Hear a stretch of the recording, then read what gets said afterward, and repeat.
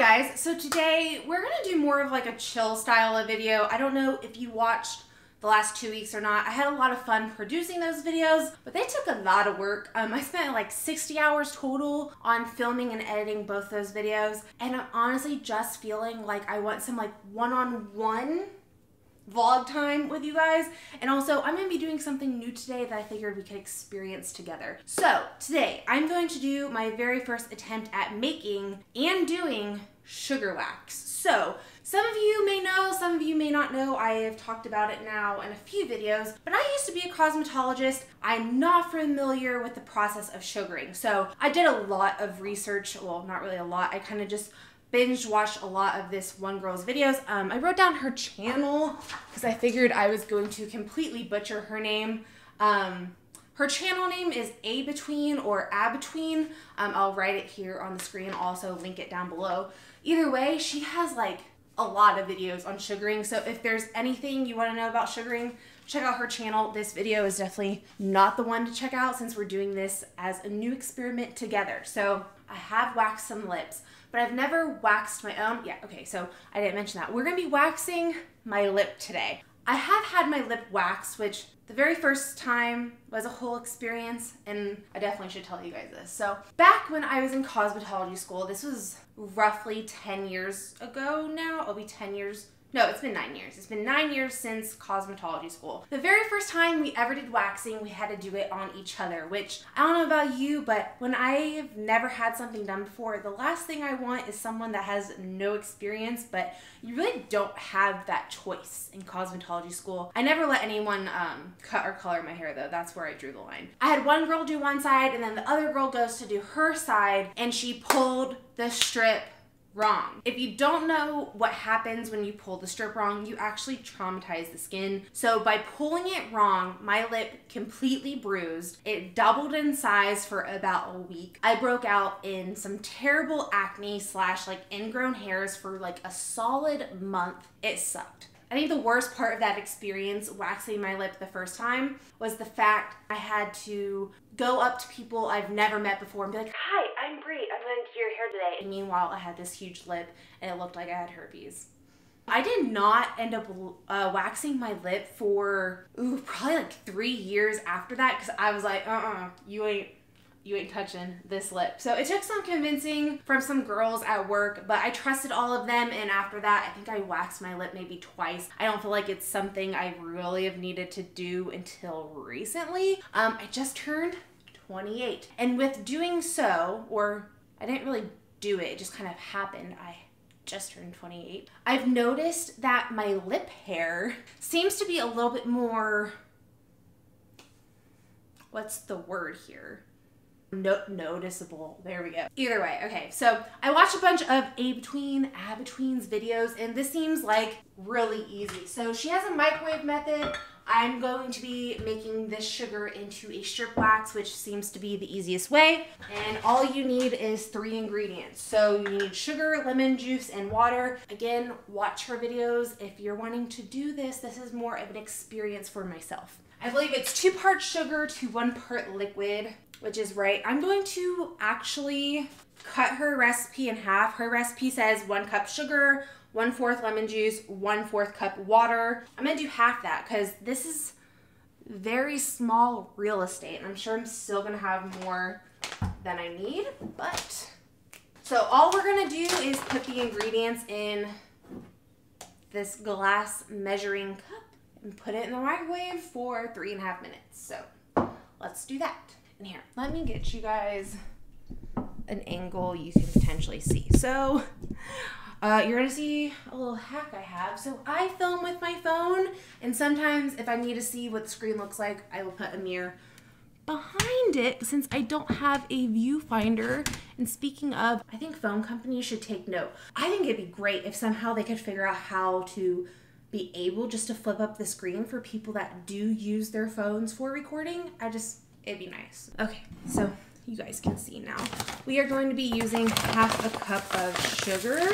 Um, she did say you can use any type of sugar other than coconut sugar. She has a list of everything you can use as far as sugars and acids and whatnot goes. So half a cup sugar. And then we are going to be doing an eighth of a cup of lemon juice and then an eighth of a cup of water. Okay. this is new to me. I have never used this one before, but I noticed when I was grocery shopping, I was like, ooh, I should buy the biggest one they have, you know, because I'm not trying to grocery shop all that often right now. And this was the one they had. Mmm. Yum. Smells delicious. Stop smelling the lemons, Bre. Speaking of lemons, if you live in 6B garden area, do you have a lemon tree? If you do, let me know. And what do you do for winter time? Because I'm curious. I would love to have some type of citrus. So while I'm mixing this, we could talk about garden things, I guess. Fall garden has been good and bad. I recently just, um, okay, you, you poured it. I'm going to actually lift this up a little bit because it's really hard for, actually, I'm just gonna move you guys back to where you were. See, this is, this is why I don't do this, guys. But if you like my random jambles of vlogging, give this video a thumbs up and maybe, maybe I'll do more. What was I talking about? See, it's gonna come to me eventually. Oh, I mentioned, that was it. I was gonna talk to you guys about garden stuff while I finish uh, mixing. As far as the fall garden goes, um, it's been going fairly well. Broccoli heads are starting to form, which is really cool. And also, I have two cabbages that really look good. One cabbage looks great. But one thing I've noticed about the fall space is when we designed the fall space originally, it got more sun in the summertime. So my garden is actually a west facing garden as far as like the coordinates go. And the best facing garden you can have is south, which we do get a lot of southern exposure with the garden, but we have a big tree. And this tree blocks a lot of the sun during the fall. And I noticed that a handful of the broccolis, a handful of the cabbages just really aren't getting bigger and it's because of the light obviously but that space during the summer gets a lot of sun so i think i'm to mix a few things up for for next year either way um, i still have spinach carrots i did rip out all the remaining uh, iceberg lettuce so i didn't get any iceberg lettuce heads unfortunately a lot of them ended up bolting again we've had some really weird warm weather and speaking of this will be the last thing and we'll keep on with this so garlic all of my garlic has sprouted now. Um, I'll get a video clip and I'll post it. So I've seen people that have their garlic sprout before and after. Garlic, again, like I said in my garlic, garlic video. Oh my gosh, where's my water? See, I'm getting parched.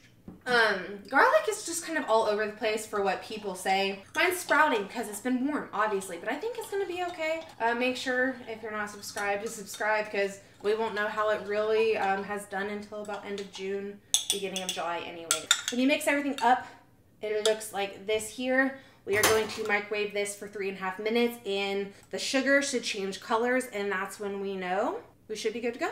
So once this sugar wax is out of the microwave, I believe we have to let it sit until it kind of cools down to skin temp and then we're gonna be able to use it. So we might have like a brief delay. Wax is done. At least I think it's done. So voila. We now have this beautiful color change, which ends up being a chemical reaction. So for the type of sugar wax we need, I have this little handy dandy candy thermometer. This needs to be around 230 to 235 degrees. Okay, so this has stopped at 200. I'm gonna just add an extra, probably like 30-ish seconds. Oh, that's actually not as hot as I thought. All right, so we just got it back out and that definitely looks a little bit darker to me this time. Let's see if we are, see if we're ready. So this is good to go. We are going to, or I keep saying we, and I say we because we're doing this together, guys, but really I'm doing it by myself. My my mirror setup fell again.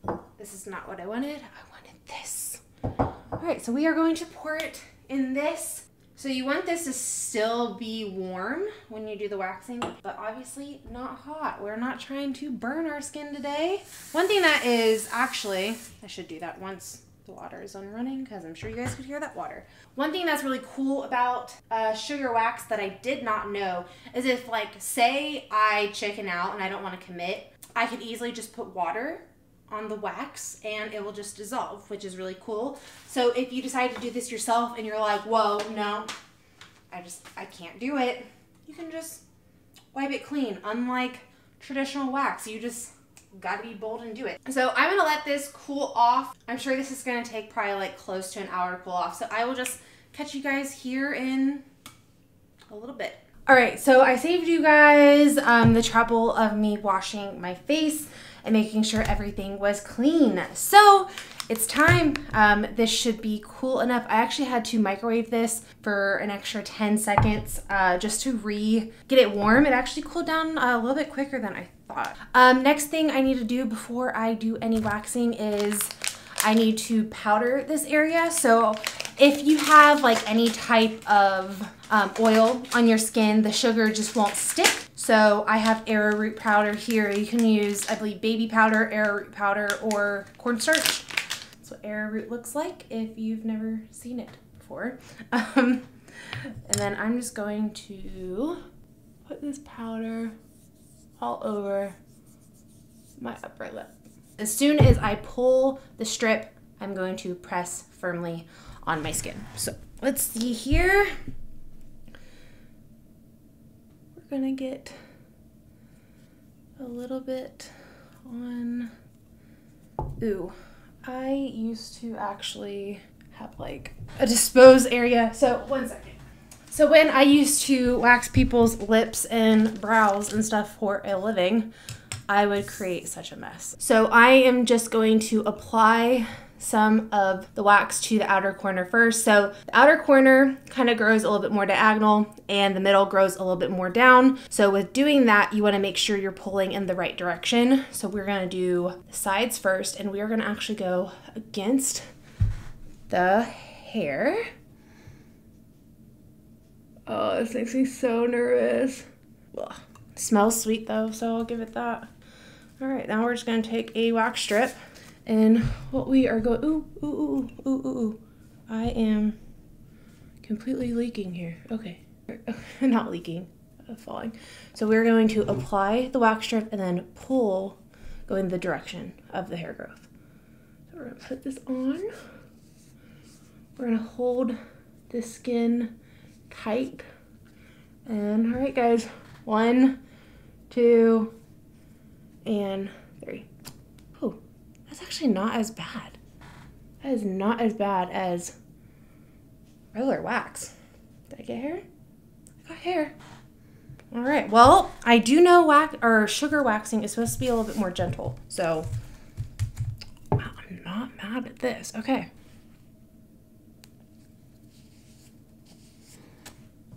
Man, I am I'm really impressed by this. I actually might end up uh, letting my leg hair grow out a little bit and trying this on my legs because this would be like this would be really nice. That much, okay. Do do do do do. Again, great angle, guys.